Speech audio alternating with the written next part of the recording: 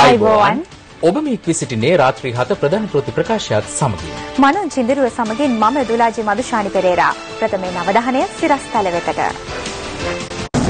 Headlines. ප්‍රධාන අනුග්‍රහය කුමරුට ජීවය දුන් විජය නන්දසිරි ජීවිත වේදිකාවෙන් සමුගනී.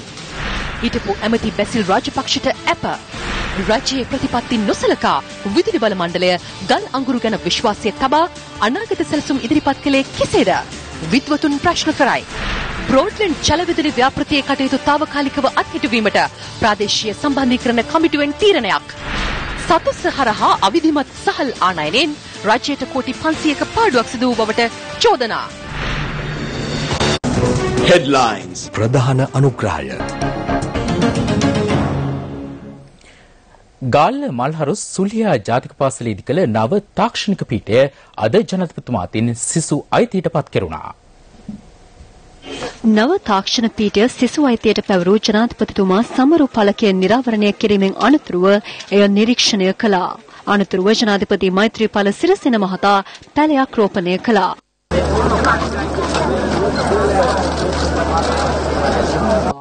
මේ අතර දඩල්ල පේන්දිගම සතිපොළද අද ජනාධිපතිතුමා විසින් විවෘත කරනු ලැබුවා.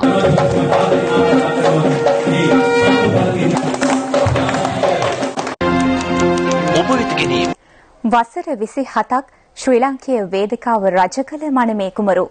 සිරස රූපවාහිනී තිරයෙන් රටක් හිනැස වූ ආදරණීය ප්‍රේම්. එසේත් නැතිනම් සිංහල සිනමාවේ නෑදෑයා අද ජීවන රංගමණ්ඩලයෙන් සමුගත්තා. ඒ සමග දශක පහක් මෙරට ප්‍රේක්ෂකයින් පින වූ විජේනන්දසිරි නම් කලාකරුවාගේ නික්ම යාම සටහන් වුණා. 1966 දී වේදිකා නාට්‍ය රංගනයට අත්පොත් තබමින් නරිපෑනා ජසයා හා ලෙන්චිනා සිංහ බාහුව වැනි නිර්මාණවලට රංගන දායකත්වයේ දැක් වූ විජය 1973 වර්ෂයේදී සිය රංග ජීවිතයේ සුවිශේෂී පියවරක් ලැබුවා. ඒ මහාචාර්ය ඉදිරිවීර සරච්චන්ද්‍රයන්ගේ මනමේ නාට්‍යයේ මනමේ කුමරු ලෙස විජයව තෝරා ගැනීමත් සමගයි. රංගන ශිල්පියෙකුට ලැබෙන උත්තරීතර දායාදයක් වන මනමේ කුමරුගේ භූමිකාව දෙදහස වසර වනතුරු වසර විසි හතක් ඉසිලීමට මේ අද්වතීය රංගධරයා සමත් වුණා. වේදිකාව ජයගත් විජය එක්දහස් නවසය හැත්තෑ හය වසරේදී සිනමාවට එක්වන්නේ නෑදෑයෝ චිත්‍රපටයෙන්. ජීවිතේ අමධාරා රූපතේ රස කෝසුපෙම් හස කැලුම් රස හැඟුම් එතැන් සිට චිත්‍රපට ගණනාවක ප්‍රධාන මෙන්ම උප ප්‍රධාන චරිත ගණනාවකින් ශ්‍රී ලාංකීය සිනමාව පෝෂණය කළ විජය එක්දහස් නවසය අසූ හය වර්ෂයේදී පුංචිතිරේ ගමන් අරඹන්නේ K.A.W. පෙරේරා මහතාගේ ගමන ටෙලිනාට්‍යයෙන් නර්තනයට ගායනයට මෙන්ම හාස්‍ය රංගනයට සුවිශේෂී දස්කම් දැක් වූ විජය නන්දසිරි.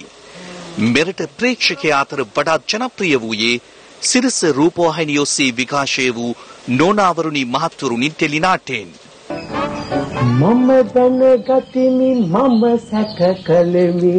මේ මං මං කතා කරන්නේ ඇයි ඕගොල්ලන්ගේ දෙමව්පියෝ වාට නමක් දාලා නැද්ද? යස් බොස් යස් මැඩම් එතුමා වැනි ටෙලිනාට්‍ය ගණනාවකින් පුංචි තිරිය දිග්විජය කළ විජය. සිරිස රූපවාහිනියේ පුංචි පහේ මං වැඩසටහනින් තව තවත් ජනහදවත් තුළට ලංගුණා. ඊයේ පස්වරුව වනතුරු තමන් වඩාත් ආදරය කළ වේදිකාවෙන් නොබැසි විජය. අද ජීවිත රගමඩලින් බැසගියේ විශිෂ්ට රංගදරයෙකු ලෙස පමණක් නොවේ. රංග ප්‍රතිභාවටත් එහා ගිය ඔහු සතු වූ අපූරු මනුස්සකම තුලින් විජය අප හදවත් දිග්විජය කර අවසන්. විජය නන්දසිරි මහතා අබව ප්‍රාප්ත වුණේ කළුබූවිල ශික්ෂණ රෝහල වෙත රැගෙන යන අතරතුරයි.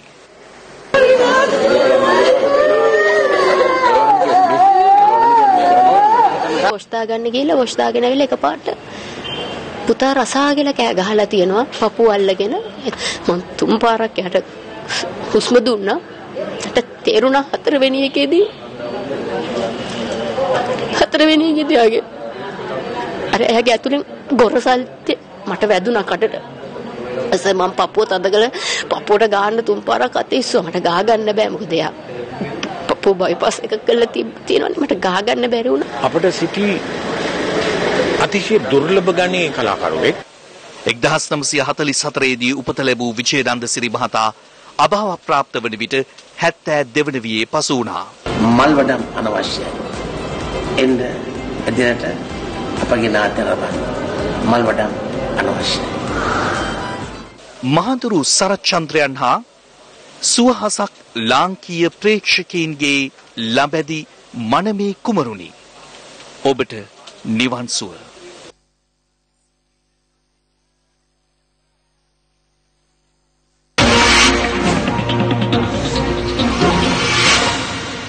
ලංකා සතස හරහා සහල් ආනයනයේ මුවාවෙන් සිදුව ඇති මහා කොල්ලේට අදාළව විගණකාධිපති දෙපාර්තමේන්තුව සහ ජනාධිපති විමර්ශන කොමිසම පරීක්ෂණ කරමින් සිටියදී ප්‍රශ්නගත ආනයනික සහල් තොගේ අවසන් පංගුවද මේ දිනවල සත්ව ආහාර සඳහා යන ලේබලයේ යටතේ පෞද්ගලික අංශය වෙත මුදා හැර තිබෙනවා. ඒ මෙම සහල් ආනයනයට අදාළව සිදු කෙරෙනු විධිමත් පරීක්ෂණයක අතුරු වාර්තාව යටගසමිනුයි. විගණකාධිපති දෙපාර්තමේන්තුවේ හිටපු අධිකාරීවරයෙකු ඇතුළු හිටපු විගණන පරීක්ෂකවරුන් තිදෙනෙකු අදාළ අතුරු වාර්තාව ලංකා සතස සභාපතිවරයාට ඉකුත් ජුනි මස දෙවැනිදා බාර දෙන්නේ අදාළ ආනයනික සහල්තෝගෙන් සැලකිය යුතු ප්‍රමාණයක් සත්ව ආහාර ලෙස මුදා නොහැර පරිභෝජනයට ගත හැකිය යන කරුණ අවධාරණය කරමිනුයි. ප්‍රශ්නගත සහල්තෝගේ ගබඩා කර තිබූ සියලු ගබඩා එම පරීක්ෂණ කමිටුව විසින් 2015 වසරේ නොවැම්බර් මාස 19 වෙනිදා සිට ඉකුත් ජූලි මාස 30 වෙනිදා දක්වා කාලය තුල විටින් විට පරීක්ෂා කර තිබෙනවා. එම සිව් පුද්ගල කමිටුවට අනුව මෙට්‍රික් ටොන් 2,92,000ක් වන මුළු ආනයනික සහල් තොගෙන් මෙට්‍රික් ටොන් 81000ක් ඉකුත් සැප්තැම්බර් මාසයේදී ආනයනය කෙරී ඇත්තේ එවැන්නක් නොකර සිටිය හැකි වටපිටාවක් සහ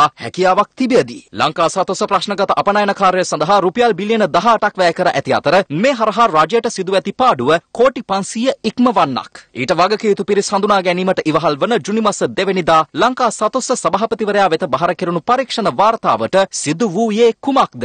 රුපියල් ලක්ෂ 10ක පමණ මහජන මුදලක් එම වාර්තාව සම්පාදනය කිරීමට වැය කර තිබියදී එයින් හෙළිදරව් කෙරුණු කරුණු මහජනයාගෙන් වසන් කිරීම යුක්ති සහගතද? කර්මාන්ත සහ වාණිජ අමාත්‍යාංශයේ ලේකම්තුමනි මේ ඔබේ අවධානය පිණිසයි.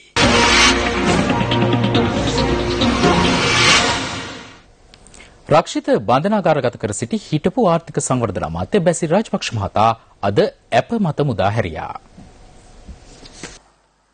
රෝහල්ගත කර සිටි හිටපු අමාත්‍ය බැසිල් රාජපක්ෂ මහතා අද කඩුවෙල මහේස්ත්‍රාත් අධිකරණයට රැගෙන වෙත් තිබුණේ ගිලන් රථයකින්.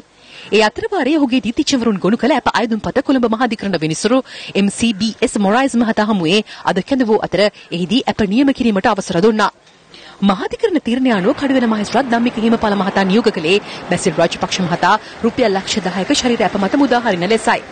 මෙහිදී අධිකරණයට ඉදිරිපත් කර සිටි දිවිනගුම සංවර්ධන දෙපාර්තමේන්තුවේ හිටපු අධ්‍යක්ෂ ජනරාල් RAP රණවක මහතාද රුපියල් ලක්ෂ 10ක ශරීරයක් මත මුදා හරින ලෙස නියෝග කෙරුණා. බැසිල් රාජපක්ෂ මහතා අත්අඩංගුවටගෙන රක්ෂිත බන්ධනාගාරගත කර සිටියේ දිවිනගුම අරමුදලේ මුදල් අවභාවිත කරමින් ඇලුමිනියම් බට මිලදී ගැනීමේ ගනුදෙනුවකට අදාළවයි. නඩු විභාගය අවසන් වීමත් සමග හිටපු අමාත්‍යවරයා නැවතත් ගිලන් රථයකින් ජාතික රෝහලට රැගෙන ගියා.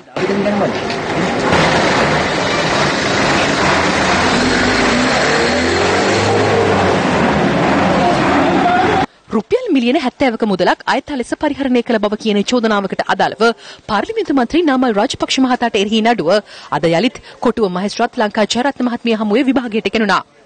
එහිදී පොලිස් මූල්‍ය අපරාධ කොට්ටාසය දැනුම් දුන්නේ රගර් ක්‍රීඩා ප්‍රවර්ධනය සඳහා යයි පවසමින් ක්‍රිෂ් සමාගමෙන් ලබාගත් එම මුදල් ඒ සඳහා යොදාගෙන නොමැති බව පරීක්ෂණ වලින් හෙළි වී ඇති බවයි. මීට අමතරව මෙම ව්‍යාපෘතිය පිළිබඳව සෙව්වන්දි පීරිස් නැමැතිය වාර්තාවක් සකස් කිරීම සඳහා මුදල් ඉල්ලා ඇති බවත් පොලිස් මූල්‍ය අපරාධ කොට්ටාසය දැනුම් දුන්නා. නාලක ගොඩහිව මහතාගේ සිද්ධිය සම්බන්ධයෙන් ලේඛන 25ක් පමණ ඇති බව පැවසූ පොලිස් පරීක්ෂකවරයා තවත් සිව් දෙනෙකු සිද්ධියේ සැකකරුවන් ලෙස නම් කිරීමට මූල්‍ය අපරාධ කොට්ටාසය බලාපොරොත්තු වන බවද අධිකරණයේදී ප්‍රකාශ කළා. වැඩිදුර විභාගය ඔක්තෝබර් මාස 21 වෙනිදාට කල් තැබුණා. මාව රිමාන්ඩ් කළා මට අපදුනට පස්සේ නීතිපතිවරයාට යවුවා තව සැකකාරයෝ හතර දෙනෙක් ගැන මම අහලවත් නැති දන්නේවත් නැති ඉඩමුකුත් මේ නඩුව අස්සර පටලවලා. ඉතින් යහපාලනේ පොලිසියට නැත්නම් යහපාලනේ FCID එකට මාව මාව රිමාන්ඩ් කරලා අප දෙනකම් ඉන්න ඕනවා තව හතර දෙනෙක් ඉන්නවා. ඒ හතර දෙනාට මොකද්ද කරන්න කියලා නීතිපතිගෙන් අහන්න. හිටපු ජනාධිපති මහින්ද රාජපක්ෂ මහතා මේ දිනවල දකුණු කොරියාවේ සංචාරයක නිරතව සිටිනවා. දකුණු කොරියා නියෝජ්‍ය කතානායක සිම් ජයශෝල් මහතා සමග මහින්ද රාජපක්ෂ මහතා අද දිවා භෝජන සංග්‍රහයකට එක් වූ බව ඔහුගේ මාධ්‍ය එකකේ සඳහන් කළා.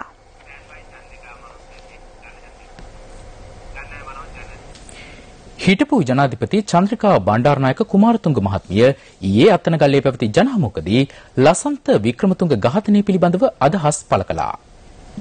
මහින්දගේ නෝනා කොහෙද මන් දන්නේ මේ පොඩි දෙයක් කිව්වා කියලා ලසන්ත වික්‍රමතුංගට මහින්ද ටෙලිෆෝන් කළා තෝ මරනවා මං කියලා. ඊට පස්සේ මහපාරේ මැරුවා. ලසන් තමයි මට කිව්වේ. නෝනා කොහෙද මන් දන්නේ හින්දු මේ කෝවිලකට ගිහිල්ලා ඉන්දියාවේ ගෑනුන්ට යන්න බෑ. බලෙන් ඇතුළට ගිහිල්ලා මහත්තයත් එක්ක. ඊට පස්සේ දවස් 7ක් මේක කහ වතුර දාලා මේකට හොදලා. ඒගොල්ලන්ගේ සිස්ටම් එක. මේක පත්‍ර දැම්ම කියලානේ. ඉතින් ඒක දැම්ම කියලා මොකක්ද ඇයිස ඒකට hina වෙලා නිකන් ඉන්න එපා. අපි ගැන කොච්චර දැම්මද? ඒකට මීහා මැරුවා. ඉතින් අපි ඒ දීලා තියෙන මාධ්‍ය නිදහස පාවිච්චි කරන උදේ ඉඳන් රැය වෙනකන් රාජපක්ෂට බුරනවා සමහර මාධ්‍ය ඔක්කොම නෙමෙයි. නමුත් ඉතින් ඒවා එච්චර ගණන් ගන්න දෙයක් නෑ. අමාත්‍ය සරත් ෆොන්සේකා මහතා අද මාධ්‍ය හමුවක් ඇඳවා තිබුණා. ඔහුගේ ප්‍රකාශයක් පිළිබඳව ඒකාබද්ධ විපක්ෂයේ සිදු කරන විවේචන පිළිබඳව එහිදී අදහස් පළ කළා.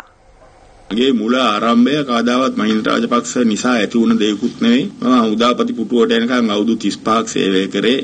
රුධිරයේ දහඩිය හෙළුවේ. ඔහුගේ ආශිර්වාදය ඇතුව නෙවෙයි. ඔහු වැඩි වෙලාවේදී ඔහුට විරුද්ධව කතා කරන්න වට පිටකොන්දක් තිබුණා. අනිත් පැත්තෙන් ප්‍රභාකරන් කියන පුද්ගලයා ඔහු ත්‍රස්තවාදී නායකයෙක්. ඔහු රට බෙදන්න උත්සාහ කරා ඔහුගේ දේශපාලන දර්ශනය අනුව. නමුත් ඔහු ඔහුට විරුද්ධව සටන් කරපු හමුදාවේ අයගේ පවුල් වලට ප්‍රහාර දුන්නේ නැහැ. මහින්ද රාජපක්ෂ කියන පුද්ගලයා තාම බියගුළු ආකාරයට මම ඔහුත් සමග ප්‍රජාතන්ත්‍රවාදීව මැතිවරණයට ඉදිරිපත් වුන නිසා මට පහර දීලා බොරු චෝදනා දාලා මම හිරිය දැම්මට අමතරව මගේ ළමයින්ගෙනුත් පරිගත්තා. එවැනි හැසිරීමක් හැසිරිච්ච පුද්ගලයා අනිවාර්යයෙන්ම ප්‍රභාකරන්ට වඩා නින්දිත පුද්ගලයෙක් කියලා මම ඕන තැන කියන බය නැතුව. Developing story ප්‍රධාන අනුග්‍රහය ඔබ අවට පරිසරය පිරිසිදුව තබාගන්න සෞඛ්‍ය අමාත්‍යංශයේ ජාතික ඩෙංගු මර්ධනයකගේ පණිවිඩයකි. ඉදිරි වසර කිහිපය තුළ ජාතික අවශ්‍යතාව සපුරාලීමේදී විදුලිවල ශේෂ්ත්‍රයේ දැඩි අර්බුදයකට මුහුණ දෙනු ඇතැයි ශේෂ්ත්‍රයේ විද්‍යුතුන් අනතුරු අඟවනවා. ඊට හේතු වී ඇත්තේ ස්වභාවික ගෑස් සහ පුනර්ජනනීය බලශක්ති පිළිබඳ රජයේ ප්‍රතිපත්ති නොසලකා ලංකා විදුලිවල මණ්ඩලය ගල්අඟුරු බලාගාර මත විශ්වාසය තබමින් ජනන සැලසුම් ඉදිරිපත් කිරීමයි. දෙදහස් දහතුනේ සිට දෙදහස් තිස් දෙක දක්වා වූ කාලය සඳහා ලංකා විදුලි බල මණ්ඩලය සකස් කළ ජනන සැලැස්ම පසුගිය වසරේ ඔක්තෝබර් මාසයේදී විදුලි බල ක්ෂේත්‍රයේ නියාමන ආයතනය වන මහජන උපයෝගිතා කොමිෂන් සභාවේ අනුමැතිය සඳහා ඉදිරිපත් කෙරුණා. ඒ පිළිබඳව අධ්‍යයනය කර මහජන අදහස්ද ලබා ගැනීමෙන් අනතුරුව කොමිෂන් සභාව තීරණය කළේ ජනන සැලැස්මට අනුමැතිය දිය නොහැකි බවයි. ඊට ප්‍රධානතම හේතුව වූයේ ඉදිරි දශක දෙක තුළ ලංකා විදුලි බල මණ්ඩලය ප්‍රධාන බල ශක්ති ප්‍රභවය ලෙස ගල්අඟුරු බලාගාර මත විශ්වාසය තැබීමයි. නව බලාගාර නවයක් අලුතින් ඉදිකොට ජාතික අවශ්‍යතාවෙන් 70කට වැඩි ප්‍රමාණයක් එම බලාගාර වලින් සැපීමට මණ්ඩලය යෝජනා කර තිබෙනවා.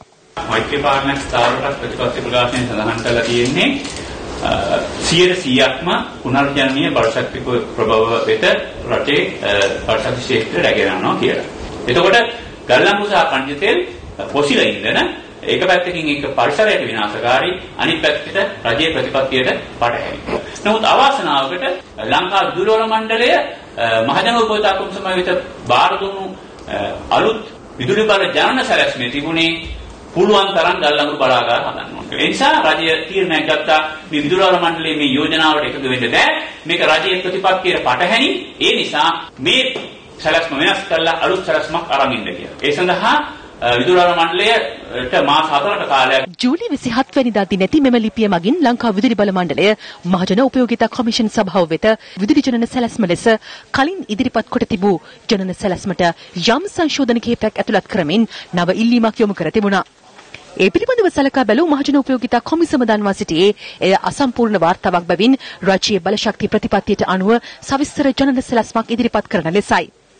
ලංකා විදුලි බල මණ්ඩලයේ දත්තවලට අනුව වාර්ෂික